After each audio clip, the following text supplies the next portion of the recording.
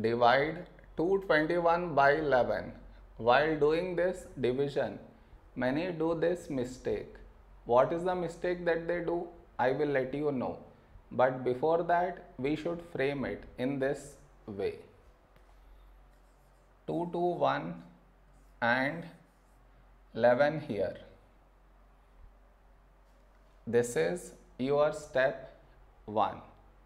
Next, here we have 2 and here 11. 2 is smaller than 11. So we should take two numbers 22.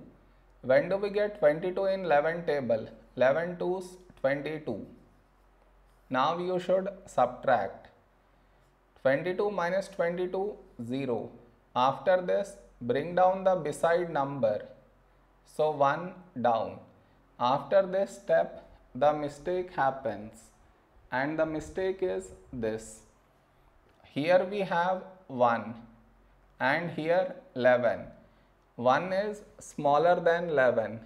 So what many do is they directly put dot and take 0 which is wrong.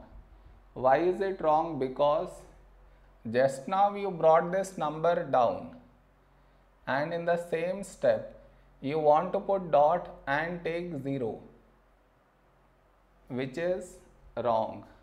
I repeat bringing the number down and also put dot take 0 bring the number down and put dot take 0 both at the same step.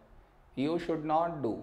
Instead what you should think of doing is which number should we take here if I take 1 we will get 11 but 11 is larger than 1 so what we should do is we should take 0 so 11 into 0 0 now you should subtract. 1 minus 0 1 over here we did not bring any number down. And 1 is smaller than 11 so now you can put dot and take 0 so 10 10 is still smaller than 11 we already have the decimal so take 0 and here also 0 now 100 a number close to 100 in 11 table is 11 nines 99.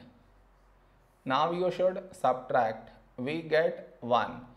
We got 1 again. That means we get bar on this number. So this is our bar on these two numbers. So this is our quotient.